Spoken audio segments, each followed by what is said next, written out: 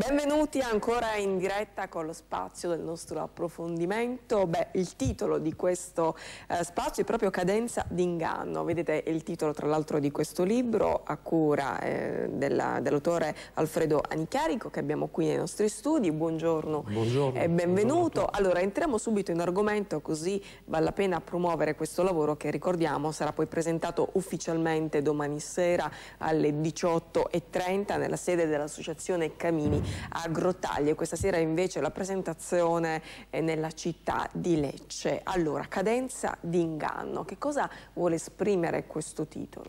Allora, cadenza d'inganno, la cadenza d'inganno è una, è una forma eh, prima di tutto musicale, ma poi adottata anche nel, nella letteratura, ed è una forma molto particolare, è un, um, è un, uh, serve per creare eh, della suspense, del, un momento di attesa, mm.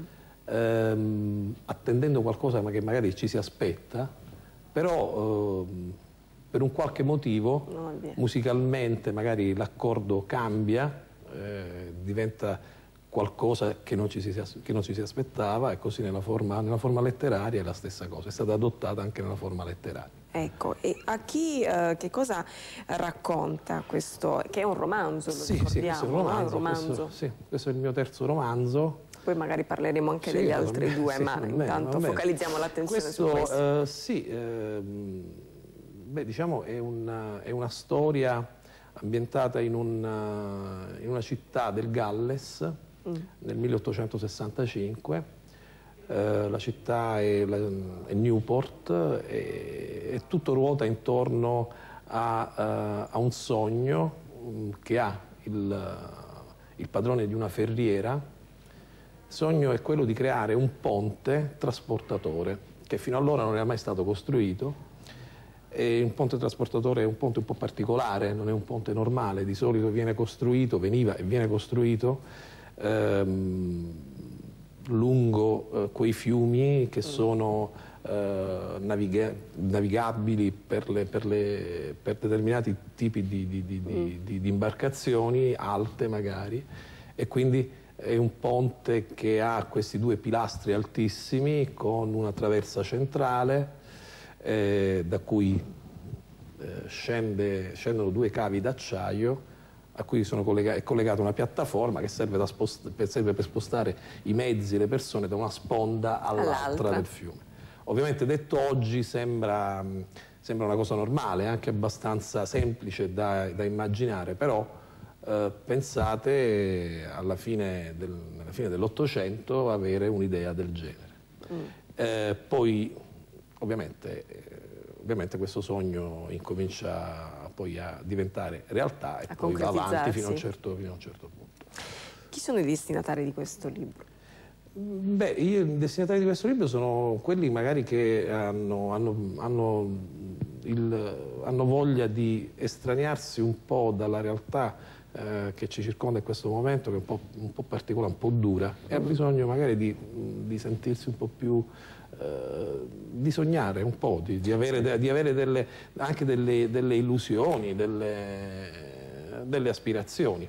Poi anche, l'ho anche eh, ambientato in quegli anni perché eh, siamo, nel, siamo in piena, in quegli anni eravamo in piena seconda rivoluzione eh industriale e quindi eh, un'idea l'idea di progresso era molto, molto spinta, sì, molto, molto, molto, molto, molto sentita. molto sentita.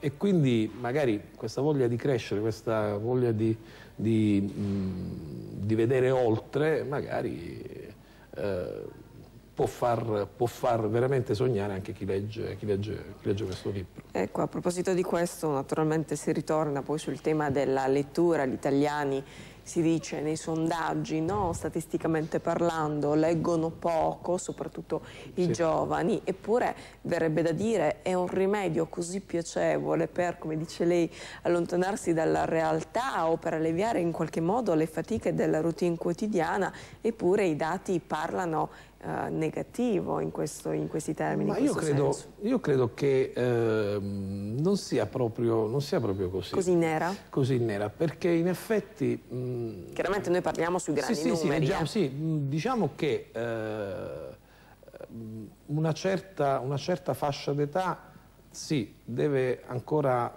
magari ha difficoltà ad avvicinarsi alla lettura anche perché eh, è distratta da è altro. Distratta da, altro, altro. Certo. Oggi l'informazione, eh, la cultura viene fatta, dal, viene fatta da, dalla rete, viene fatta dal, uh, dalla televisione, da, da, da, strumenti assolutamente innovativi rispetto a quello che può essere un libro, eh, un, un libro dei fogli di carta che magari mm.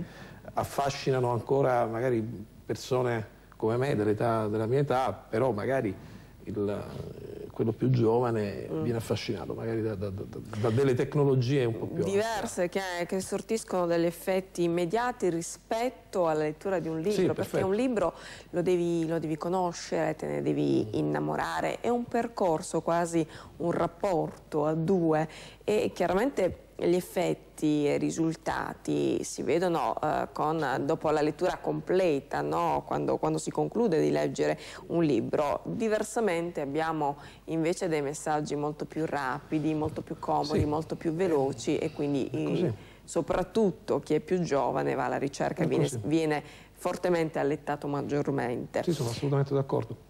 Anche lo stesso fatto di, andare, di scegliere un libro, scendere, scendere per andarlo a comprare e, e... Eh, però tutto ha un suo fascino questo, sì. eh, via, io lo dico eh, no, io, sono, io sono assolutamente affascinato. Andare in libreria, essere catturati eh, non solo dalla copertina, perché poi si va oltre la copertina, però proprio eh, l'odore del tatto, l'odore della carta, toccarlo, delle... aprirlo.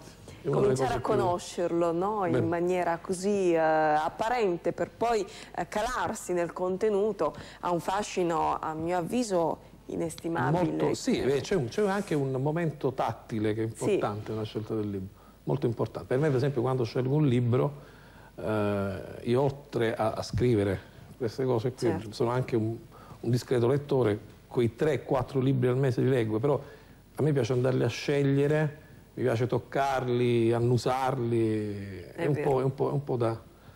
È un po' da, da, da, persone di altri tempi, però mi piace. Però Beh, cioè, credo che, che siamo tanti, credo che siamo tanti. Siamo tanti, ecco cerchiamo anche di, di, lasciare aperta questa finestra di speranza, mm. soprattutto in riferimento a chi è più giovane eh, di noi. Ci sono però altri due libri eh, che lei ha scritto.